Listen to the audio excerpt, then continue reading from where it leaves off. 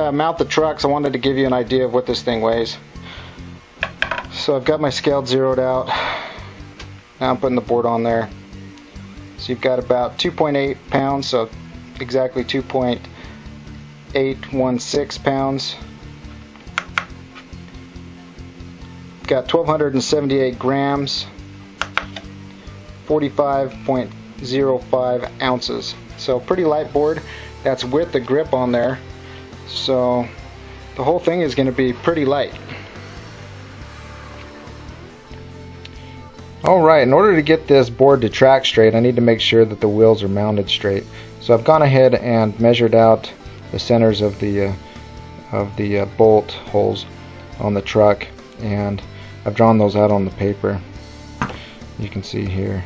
Now you'll see that I've got uh, eight different points here. Uh, one is so that I can mount the trucks back here if I wanted and the other one is to, um, to mount them up here in the front.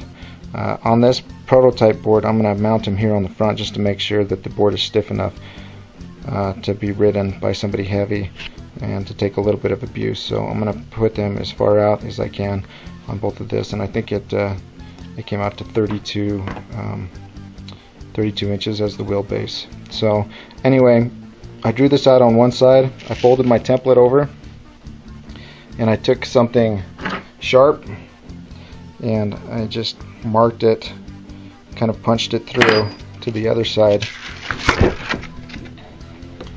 to get the uh, the correct um, hole alignment over on this side too. Since we were able to, to fold our template in half, it makes it real slick and easy to uh, to draw these out.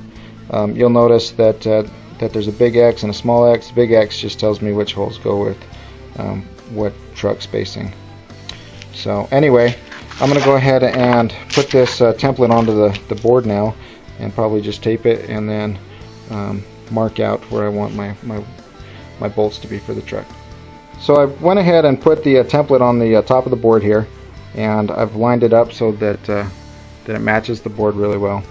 And now all I'm going to do is take this, uh, this bit here since it's got a pointy end and I'm going to take this hole and I'm going to just kind of push down kind of hard on there and what that'll do is that'll give me the mark for the center hole of where I need to drill.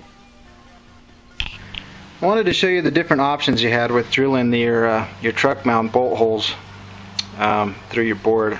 Uh, the first one is you can put a, a, finishing washer on there but it sticks up a little bit but it still looks pretty good so if you wanted to do that you don't have to uh, to use a uh, countersink um, drill bit uh, the other option is that countersink drill bit. You can see here that I've got it drilled out so that that, that flathead screw goes through the board and is flush with the top. So those are your two options with this pretty much. Um, I've seen some guys where they'll just drill a hole and then they stick their, their screw on there.